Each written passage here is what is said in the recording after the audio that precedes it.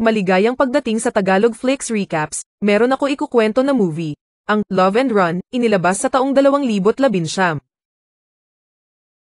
Si Lynn ay isang estudyanteng nangangarap mahanap ang isang lalaki na kanyang pinapangarap katulad sa mga nababasang manga.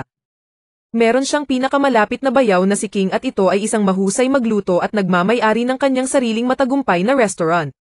Si Dun naman ay anak ni King na pamangkin ni Lynn. Ito ay may pagkahumaling sa kanya at sinisira ang kanyang mga kadate. Makikita rito ang mga kagagawa ni Du sa mga kadate ni Lin. Pahayag ni Du kay Lin na kailangang isaalang-alang siya bilang isang personal na bodyguard niya. Gusto ni Du na maging isang national runner pero gusto ni King na magpatuloy ito sa pagmemedisina o engineering kung hindi ay magtrabaho na lang ito sa kanilang restaurant. Si Lin naman ay pumasok sa nursery school at nagtatrabaho bilang isang physical therapist. Habang lumipat naman si Du sa Bangkok dahil nakakuha ito ng scholarship. Samantala kausap ni King ang kaibigan at sinabing wala siyang ideya kung ano ang kinabukasan ng kanyang anak. Patuloy ang pagiging national runner ni Du pero huli ito sa kanyang karera. Makikita ring nagsimula siya ng trabaho sa isang supermarket kasama si Men na katrabaho nito maririnig ang kanilang boses sa tindahan na nag-aanyaya sa mga customer para bumili sa mga produkto. Habang nasa lunch break ang dalawa, nakita ni Du ang tita na kumakain kasama ang katrabaho sa kabilang mesa at natakot mahuling naka-uniform. Si Man, isang musician na may crush kay Lin at palaging bumibisita sa kanya sa trabaho at nagtatanong ng isang session therapy na humihiling na si Lin ang mag-assist sa kanya. Sinisikap ng katrabaho ni Lin na paalisin ito ngunit ang lalaki ay matyaga, at nang natapos ang trabaho ni Lin ay lumapit ito at nagsasabing pwedeng samahan niya si Lin pauwi. Sinabi ni Lin na papunta siya sa grocery ngunit si Man ay hindi pinanghihinaan ng loob at sumama sa kanya. Binitbin niya ang mga binili ni Lin at habang nasa supermarket ay nagtatanong siya kung anong klasing lalaki ang gusto nito. Sagot ni Lin ay naakit siya sa mga taong aktibo tulad ng atleta. Pagkatapos ng kanilang pamimili ay sinabi ni Man kay Lin na ito ang huling beses na ihahatid siya pa uwi. Masaya nakarinig si Lin pero sabi ni Man ay ito na ang huling pagkakataon dahil simula ngayon araw-araw na sila magkikita at lilipat ito sa inuupahang apartment. Habang sinadu ay nagtatago at nakikinig sa kanilang usapan, sabi pa ng kanyang katrabaho ay kukunin nito ang kanyang tita. Tumawag si Du sa kanyang ama at sinasabing si Lin ay dapat manirahan sa isang mixed-gender apartment dahil delikado ang Bangkok sa panahon ngayon. Tinanong ni King kung nasaan siya pero wala itong sinabi. Sa susunod na araw, kumatok si Man at nagpapakita ng todo bihis bilang isang fitness enthusiast at sinabi pa niya nag hindi ito ginawa para lang kay Lin. Pero nakasulat ang pangalan ni Lin sa dibdib nito. Dali-daling sinara ni Lin ang pinto pero si Man ay nagkunwaring natamaan sa ilong at binuksan ni Lin ang pinto. Sinabi pa ni Man ang dahilan sa kanyang paglipat kasi kailangan niya ng ilang mga plato at mga kubyertos at hindi ito kumpleto sa mga gamit. Kaya gusto din niyang pumasok at kumain kasama ni Lin. Sagot naman ni Lin ay maaari siyang pahiramin pero hindi pwedeng kasabay kumain at muli niyang isinara ang pinto. May kumatok naman sa pinto niya at binuksan ito at nakitang si Du at Men ang nakatayo sa labas. Pinapasok niya sila at nagsimulang magtanong kung saan siya nananatili at kinamusta ang kanyang pag-aaral. Sagot naman ni Du ay nakikitira siya kay Men at nag-drop out ng kolehiyo upang makakuha ng trabaho. Sabi ni Men ay inaalagaan niya ng mabuti si Du at balak niyang ibigay kay Lin ang kanyang numero. Mabilis siyang pinaalis ni Du sa apartment. Kasunod ay, Tinawagan ni King si at nagsasabing tumawag si Du na humihiling sa kanya na manatili sa isang mixed-gender apartment. Tinanong din ito kung nakausap niya si Du at nag-signal kay Lin kung ano ang isasagot. Sa huli, tinapos ni Lin ang kanilang tawag. Simula noon, si Du ay mananatili kay Lin. Pagkagabi, kumain sila sa fast food at nagtatanong si Du sa kanya tungkol kay Man, sagot naman ni Lin ay, nanliligaw ito sa kanya. Muli namang bumisita si Man kay Lin sa trabaho at humihingi ng isa pang treatment. Nagpahayag ito ng cheesy lines kay Lin. Pagkatapos, ang katrabaho nagturok ng dekoryenteng stimulation treatment. Nakatanggap si Lee ng text mula kay Du at lumabas ito sa silid at napagtanto ng kanyang katrabaho na ang makina ay sira at kailangan ng e-maintenance, kaya naman ay tumakbo sila sa kwarto at nakita si Man na electric shock. Na-unplug nila ito para huminto ang makina. Kasunod, hindi sumuko si Man sa kanyang effort at binigyan niya ng ilang organikong pagkain para sa kanya. Napansin niya si Du at ipinakilala siya ni Lin bilang kanyang pamangkin.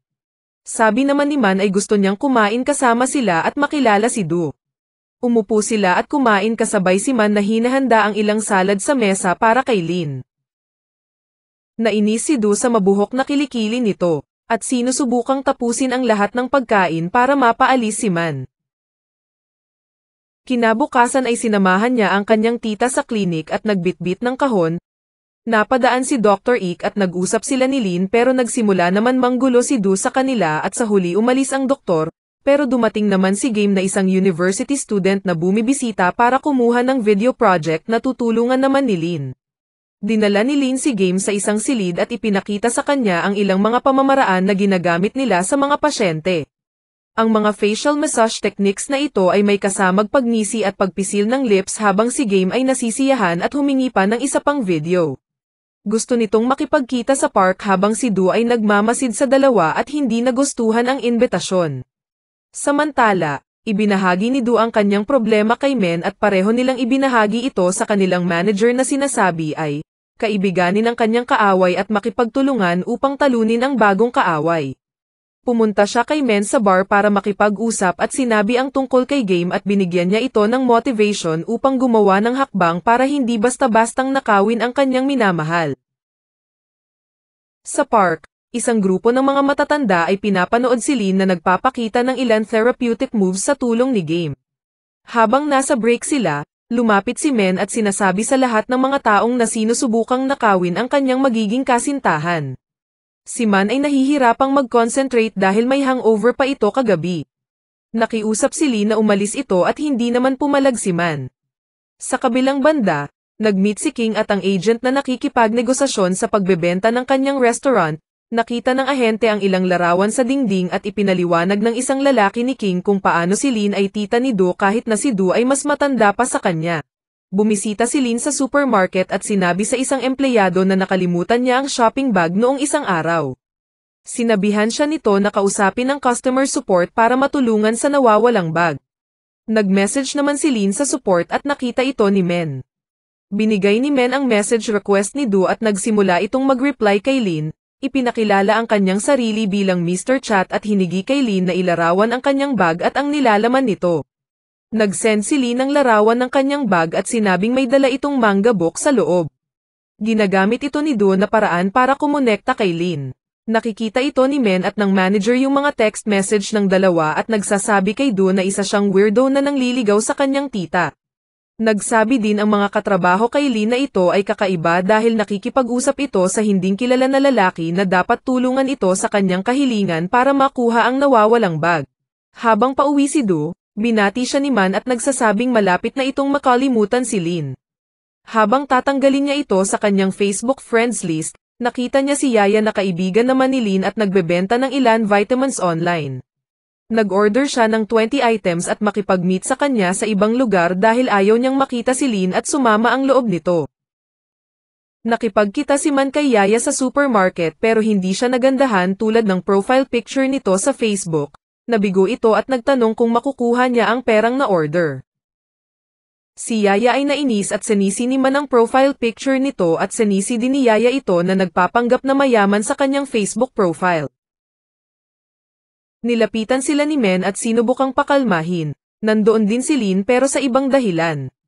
Nag-text si Lin kay Du at sinasabi na siya si Mr. Chat, tinawagan naman siya ni Men para papuntahin doon tinignan lang siya nito at umalis na disappointed sa ugaling ginawa. Sina Men at ang manager nag-usap tungkol kay Do na ayaw ni Do sa tita nito na magka-boyfriend kaya siya lumikha ng isang karakter para mapalayo ito sa iba. May kadate si Lin pero nanggulo si Do, kinausap siya ni Lin na itigil ang pagbuisit sa kanya at bumalik sa college para makapagtapos at makatulong sa kanyang ama. Nakipagkita si Lin kay King at sinabi na si Du ay huminto sa kolehiyo at nagtatrabaho isang part-time ngunit natatakot siyang sabihin ito sa kanya. Si King naman nagtanong kung ano ang opinyon nito sa pagbebenta sa kanyang tindahan. Sinabi sa kanya ni Lin na ito ang kanyang lugar at kaya niya gawin ang anumang gusto niya.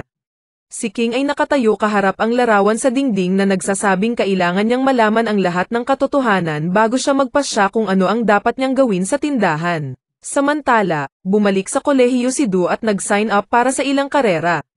Kasunod nito ay binisita siya ng kanyang ama at nag-usap sila sa locker na nagsasabing si Du at Lin ay hindi magkadugo. Nangako si King na alagaan si Lin na parang totoong pamilya kahit na walang bloodline relation sila. Nakipag-usap agad si Du kay Lin tungkol sa balita na ikinagagalit naman ito ni Lin na wala siyang naiwang tunay na pamilya. Kasunod, si Lin ay nakakuha ng scholarship para sa England at planong magtungo doon, habang nakipagkita si Du kay Lin pero sinabihan ito na hindi maintindihan kung paano ito naging masaya na hindi sila magkadugo. Sabi naman ni Du ay gusto niya si Lin at ngayong alam na niya na sila ay hindi magkadugo at pwede na niyang ipaalam ang nararamdamang kakaiba at hindi na mahihiya sa pagkagusto sa kanyang tiyahin.